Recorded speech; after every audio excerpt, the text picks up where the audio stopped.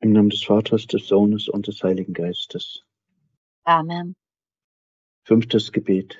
Christi Barmherzigkeit gegen reumütige Sünder. O Jesus, du Spiegel der ewigen Klarheit.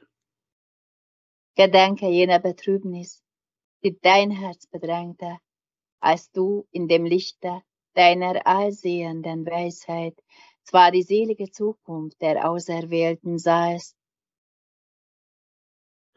welche durch dich die Verdienste deines Leidens ihr Heil finden,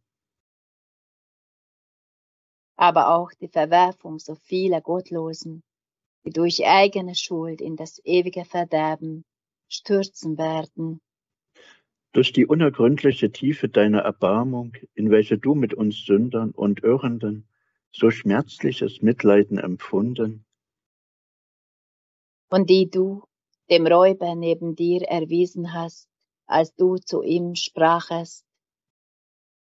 Heute wirst du bei mir im Paradiese sein. Bitte ich dich, du wollest auch mir in der Stunde des Todes Barmherzigkeit erzeigen.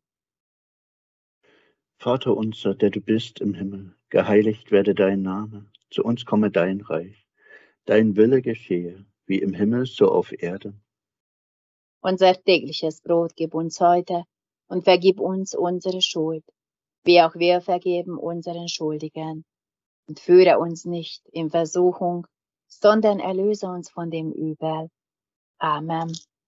Gegrüßet seist du, Maria, voll der Gnade, der Herr ist mit dir. Du bist gebenedeit unter den Weibern und gebenedeit ist die Frucht deines Leibes, Jesus. Heilige Maria, Mutter Gottes, bitte für uns arme Sünder überflute die ganze Menschheit mit dem Gnadenwirken deiner Liebesflamme, jetzt und in der Stunde unseres Absterbens. Amen. O Jesus, Sohn Gottes, geboren aus Maria der Jungfrau, zum Heile der Menschen gekreuzigt.